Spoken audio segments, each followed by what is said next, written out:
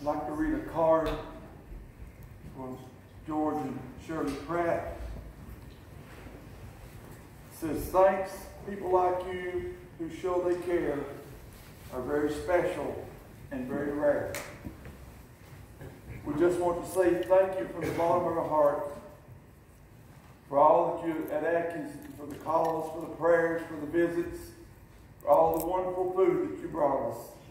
May God bless you all of all that you did to help us through this very hard time. We love this church, George and Shirley Pratt. This was in the passing of George's daughter, Diane McCarty, this past week. So please be much in prayer for them. Uh, a few more announcements. Uh, Brother Ray, uh, our Nugget King, is going to have surgery tomorrow uh, on his leg at Canova. So what time are they doing that, right? 11 o'clock. 11 o'clock. Please be much in prayer for him. Brother Larry Wood got to go home this week. Still not doing real good. Uh, they don't know what caused him to pass out and to fall and hit his head and have a brain bleed. And they're still working on that, so please be much in prayer for Larry. Uh, Sister Iva Jones had a really good week this week, and Brother Larry's back here with us again. So thank you for the prayers for her from uh, Larry and Iva. And pray that she will continue to get better and better and better. And before long, she can be back here at church with us. Uh, Jackson Igo got to go home from the hospital uh, in Cincinnati for the first time in a long, long time. So please be much in prayer for Jackson as he starts his life over again, hopefully, that God will richly bless him. It's good to see uh, Brother Jimmy Humphreys with us this morning. Uh, please, as he goes through his cancer treatment, Brother Gene, as he goes through his. Danny's not here, he's not feeling really well. Uh, he's going through his cancer treatments. Please remember him. But we just got so much to be in prayer for this morning and so much to be thankful for. Uh, I want to thank the church, especially all the ladies and the men that cooked. Our Thanksgiving dinner last Sunday was a great success. We had a wonderful turnout. Everyone seemed to have a great time. So don't forget our Christmas dinner will be December the 10th. That's next Sunday. Excuse me? Two Sundays. Two Sundays. Two Sundays. I'm jumping ahead of time. It's okay. I'm a time traveler. He just hungry. You're just, you're just hungry.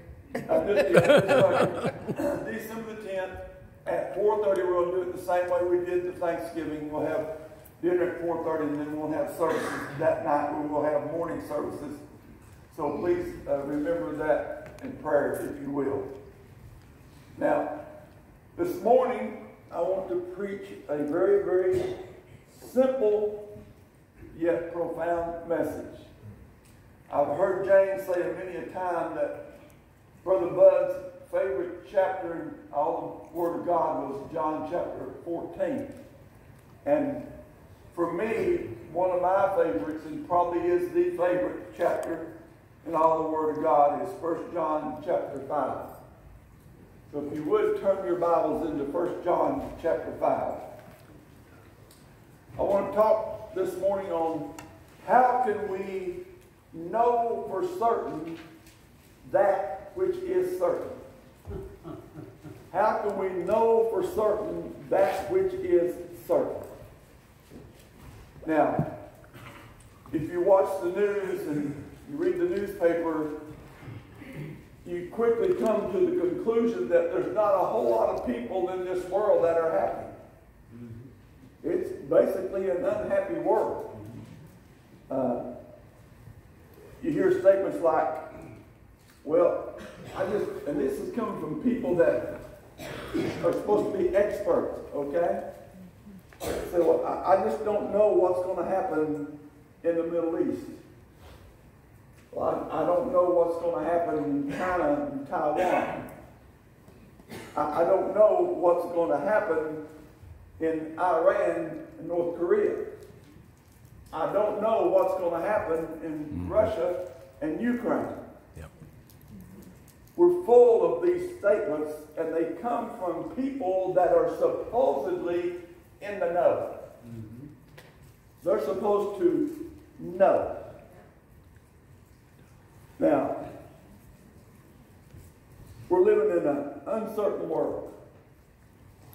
In a world in which it seems that everything that was once nailed down is now coming up. We are in an uncertain world. And So, how can we know that which is certain will be certain? 1 John chapter 5, verse 13. These things have I written unto you that believe on the name of the Son of God, that you may know that you have eternal life, and that you may believe on the name of the Son of God. Listen, this morning I want to talk to you about that which is certain in an uncertain world. These things have I written unto you that you may know. That you that believe on the name of the Son of God may know beyond a shadow of doubt, without any uncertainty, that you have eternal life. And that you may believe on the name of the Son of God.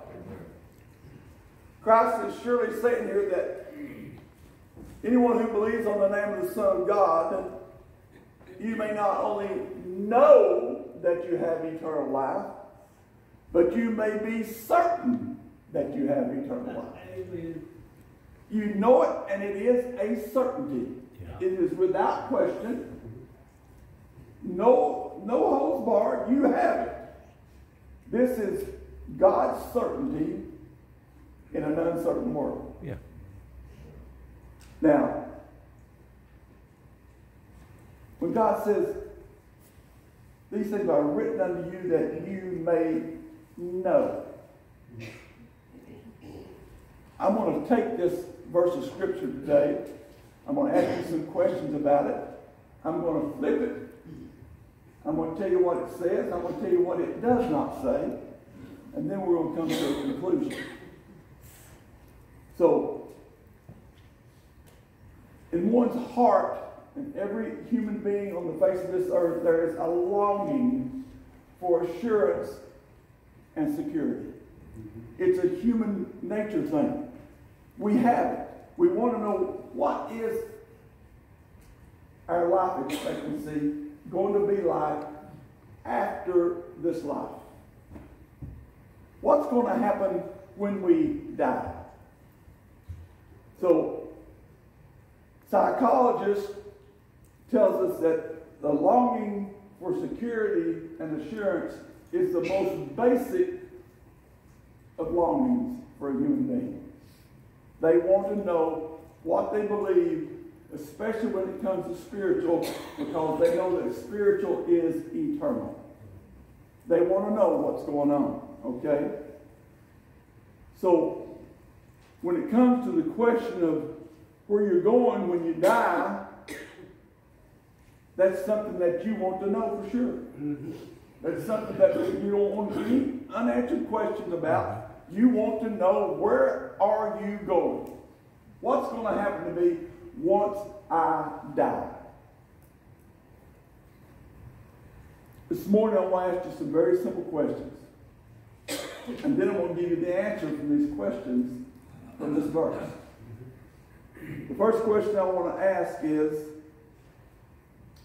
Is it possible to know? Is it possible to know that you have eternal life? Or said another way, is it possible to know that if you laid your head on the pillow tonight and you didn't wake up, would you go to heaven? Is it possible to know? Now, some of the most intelligent people that's ever lived on the face of this earth have told us that for us to think we have eternal life is sheer presumption. Since you, may think it, you may wish it, you may even assume it that you have eternal life. But they say you cannot know. But is it presumptuous in the light of God's Word? No, it's not at all. He says, I am writing unto you. He says, hey, I'm not only going to tell you, I'm going to put it in black and white. I'm writing unto you that what? That you may know that you have eternal life. Right. So, he says, I tell you in my words that you have it. I put it in writing. Now, why do you think you maybe put it in writing? Have you ever doubted your salvation? Probably everyone sitting in this room at one time or another has doubted their salvation. So he said, just in case you forget what I said, I'm going to put it in black and white. I'm going to put it down. I'm, I'm writing these things unto you that you may know. So when that little doubt comes up in your mind, you say, hey, I'm going back to 1 John chapter 5, verse 13. These things have I written unto you that you may know that you that believe on the name of the Son of God have eternal life. Yeah. It's very simple. Uh, when it comes to where you're going to go when you die, God doesn't want any question marks. He wants it perfectly clear that if you believe on the name of the Son of God, you have eternal life. Now, is it possible to know? Yes, it is possible to know. But some people say you will never know. They even say, these very intellectual, smart people say that there's no way you're going to know until you stand before the judgment day. Well, let me submit to you that if you're standing at the judgment day and you don't know, it's too late. It is entirely too late. You can't do anything about it at that time. Let's just look for a second at what this verse does not say. It does not say that I have written unto you that you may hope that you have eternal life. It does not say these things that are written unto you that you may think that you have eternal life. It does not say these things that are written unto you that you may assume that you have eternal life. How many times in your life, and I have to admit, I've got on my knees and I said, Thank you, God.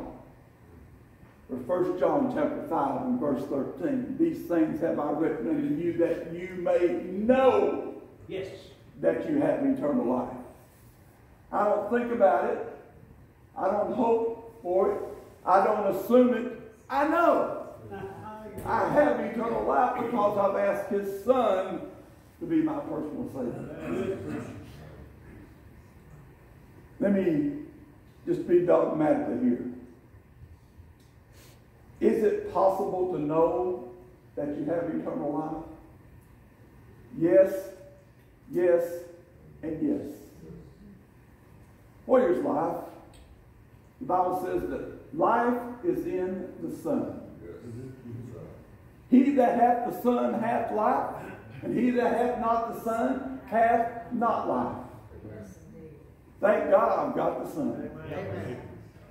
I have eternal life. How can we know for sure?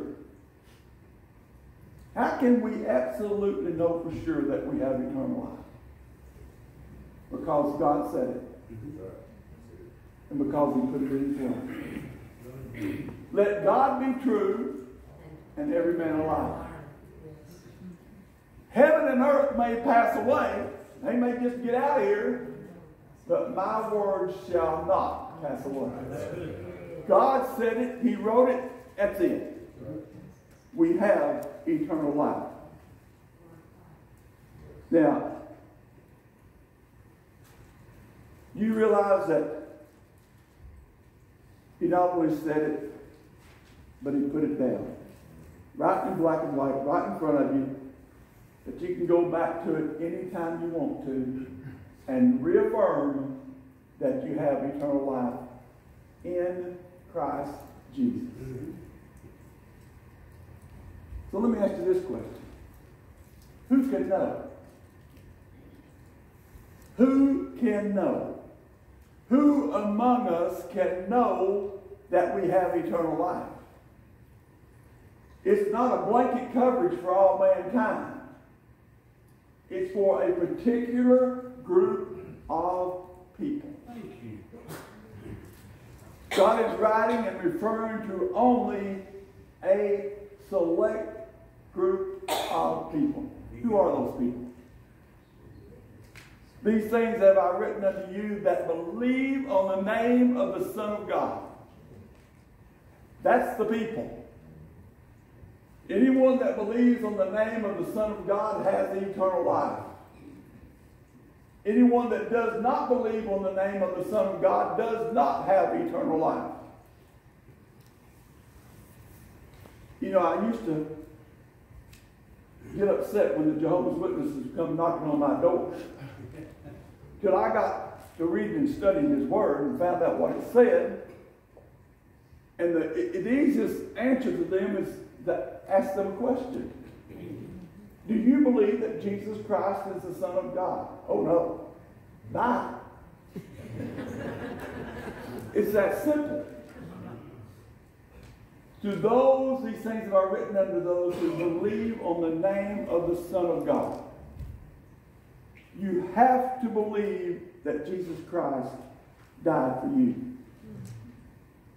God says only those who believe on his name, in the beloved name of the Lord Jesus Christ, our Savior, can know without a question of a doubt that we have eternal life. That's who we are. But to believe means to trust. Now, watch this. So, what's God saying is this I'm writing to all those who trust in the name of the Lord Jesus Christ. Wow. That you may know that you have eternal life. That's good. Now, forget from this standpoint, a lot of people are trying to be Christians. But trying doesn't get you anywhere. It's only trusting that gets you somewhere. Yes, yes, yes. You have to trust in the name of the Son of God. Would you know, well, let me put it this way. Would you like to know how many people have become Christians by trusting in themselves? Hmm. Not, No. not a single one. How many have become Chris- Christians by trying to be a Christian? None. Not a single one. Now, some people say, well, you know, I'm going to die and do my best. I'm just going to do my best. That's all I can do. Well, if that's all you can do, you're in trouble. You have to trust and not try. If you're trusting in your best to become a Christian, watch this. The only way you can become a Christian by doing your best is to meet God's standard. Oh, yes. What is God's standard? Perfection. How many of us can sit here today and say, I have never sinned and I will never sin? None. Zero. We all have sinned and come short of the glory of God. Yes. We cannot become a Christian by doing our best. We have to quit trying and start trusting. Yes. Trusting in the Lord and Savior. Now, you see, trying is self effort. Trying is saying, I believe I can do it. Trusting is, I believe He did it. Yeah, you did. He paid the price. Now, it does not say I'm writing to those who are trying their best to be a Christian. I'm writing to those who believe on the name of the Son of God, that you may know that you have eternal life. Now, notice also when you read this verse that it does not say, I'm writing to those who are Baptists. I'm writing to those who are Methodists. I'm writing to those who are Presbyterians, Episcopalians, Roman Catholics, Pentecostals. Neither does it say I'm writing to those who have been baptized or sprinkled or confirmed Yes. or take communion. No, it doesn't say that. Nor does it say if you were brought up in a Christian home, you assume that you're going to be a Christian. Listen, being brought up in a Christian home is a wonderful thing.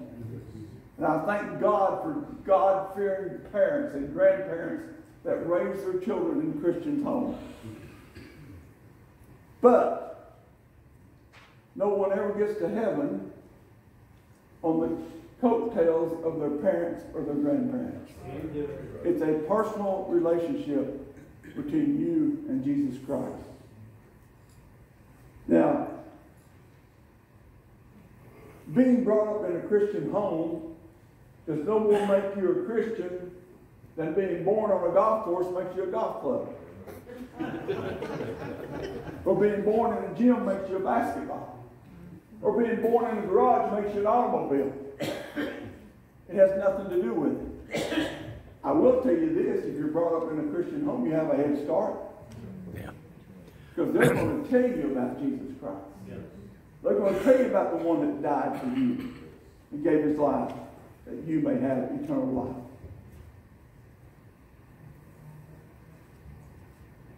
Your faith may be small, it may be the size of a mustard seed. But do you realize it's not your faith that saves? It's his faith. Amen.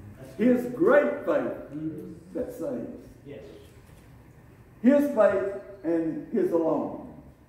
Because Jesus paid it all. And all to him I owe. Sin had left a crimson stain, but he washed it white as snow. Thank God for a Savior that loved me enough that he left the portals of glory, came to this earth, disguised as a man, That's good. in the, dwelt in the flesh and dwelt among us. And died on an old rugged cross so that you and I could have eternal life. Guys. And that life is in Christ. My favorite two words in Christ. Yeah. Now, do you know this morning that you have eternal life? Donnie, come and get a song. God says you can know it. You can know it because He said it. You can know it because He wrote it. And if there's any doubt in your mind, you go and you turn back to 1 John chapter 5 and verse 13 and you read it again. These things have I written unto you that believe on the name of the Son of God, that you may know. No questions asked. None. That you have eternal life. And that you believe on the name of the Son of God. This is a promise that God gives us. It's a promise that we don't deserve. It's something that we have no claim that we had anything to do with. For God so loved the world that he gave the greatest gift ever given, his only begotten Son. Keep going. That whosoever believeth in him should not perish, but what? Have everlasting life. In the book. That's the same thing as eternal. Yeah. Let's stand this morning and give him honor and glory. My soul in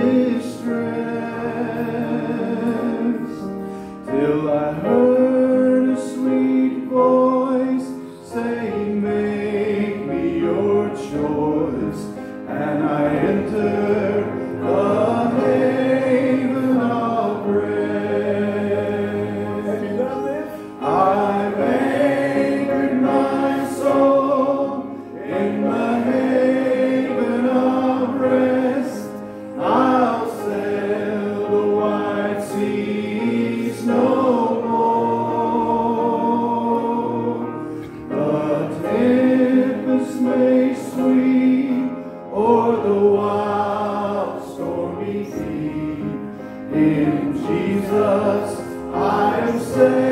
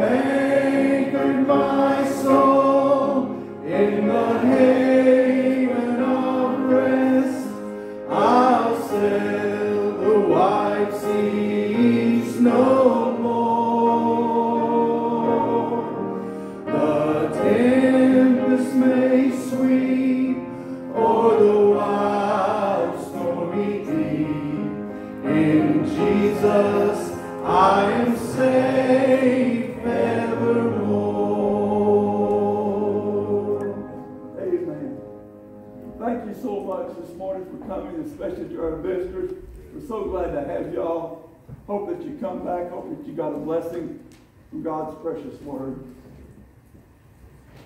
I tell you, uh, Thanksgiving and Christmas, do you realize that it's the most depressing time of the year?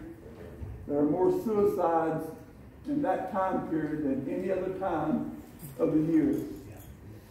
We as Christians, we should be very happy in knowing what we know. Yeah. Good preaching. And being certain of that which is certain. Good message. And that is that we have eternal life Yeah. in Jesus Christ. Because He did it all. Thank God it wasn't nothing I could do. I heard that. I'm just an old feeble sinner. But He did it all. Yep. I just trusted Him. Put my trust in Him. Yeah. What we got going on back there, Joseph? Cards. Christmas cards. Christmas cards starts today. So bring your Christmas cards in. All that money goes to things on the church to uh, help us. We, we bought lighting and signs and a little bit of everything with that money. It's, it's gone really well. So thank you for doing that. So anybody got anything on their heart before we go today? You said you just trusted him, even that trust in you. Even the trust he gave me. That's good. Yeah, the faith that we gave it to us. Amen. Yes. Absolutely, good point, thank you. Yes, Anyone else? great news. Thank you. Well, Brother Jerry, would you dismiss us? We'll be back tonight. Hold on, Pat. What you got, honey? Could you play, could you sing Consider the Lilies? Hmm.